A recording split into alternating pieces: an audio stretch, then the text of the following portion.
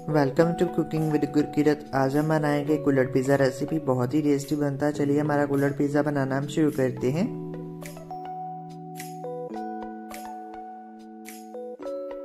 हमारे YouTube channel को subscribe करें एंड बेल आइकन दबाएँ। हमारी लेटेस्ट वीडियो सबसे पहले देखने के लिए। कुलर पिज़्ज़ा बनाने के लिए सबसे पहले हमने लिया है ये onion tomato mozzarella cheese paneer और थोड़ा सा हरा धनिया और ब्रेड के पीसेस इसकी जगह आप पिज़्ज़ा बेस भी ले सकते हैं। ये हमने एक पैन लिया है। इसमें डालेंगे हम थोड़ा सा ऑयल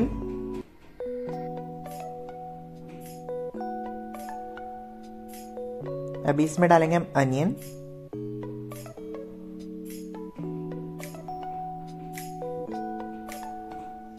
एक बार इसे अच्छे से मिक्स कर लेंगे।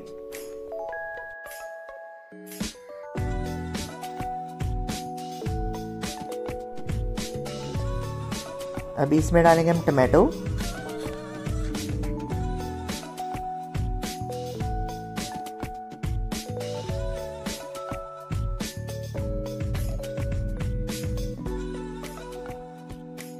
इसमें डालेंगे हम थोड़ा सा नमक। नमक आप अपने टेस्ट के अकॉर्डिंग ज़्यादा कम कर सकते हैं। थोड़ी सी रेड चिली थोड़ा सा गरम मसाला इसे अच्छे से मिक्स कर देंगे।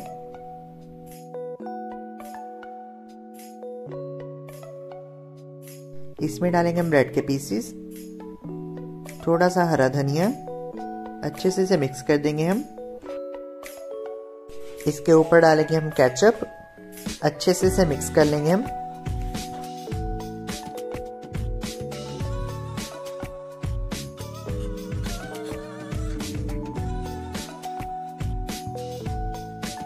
अभी इसमें डालेंगे हम पनीर के पीसेस अच्छे से इसे मिक्स कर लेंगे हम। ये देखिए, हमारी स्टफिंग रेडी हो चुकी है। अभी इसे हम बाउल में निकाल लेंगे। ये हमने लिए हैं कुल्लड़ अभी इसमें हम स्टफिंग करेंगे। हाफ़ कवर करके इसमें डाल देंगे हम केचप अभी इसमें डालेंगे हम मोजरेला चीज़ ऊपर से हम स्टफिंग भर देंगे फिर से।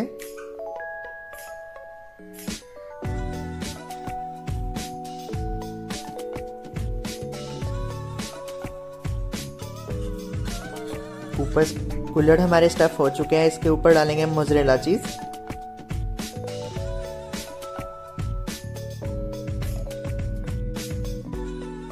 अभी पनीर को हम मैरिनेट करेंगे। पनीर के ऊपर डालेंगे हम थोड़ी सी केचप अच्छे से इसे मिक्स कर लेंगे।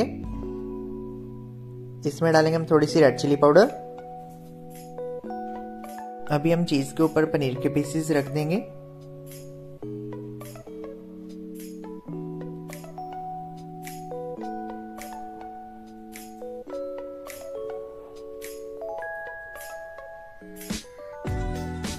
अभी इसके ऊपर लगाएँगे हम थोड़ा सा हरा धनिया। अभी इसे हम रख देंगे माइक्रोवेव में। ढाई से तीन मिनट की सेटिंग पर हम इसे चलाएँगे।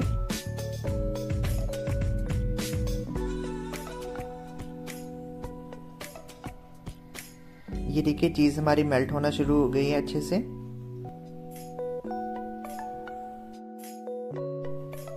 हमारा कूलर पिज़्ज़ा कुक हो चुका है, अब इसे हम बाहर निकाल लेंगे।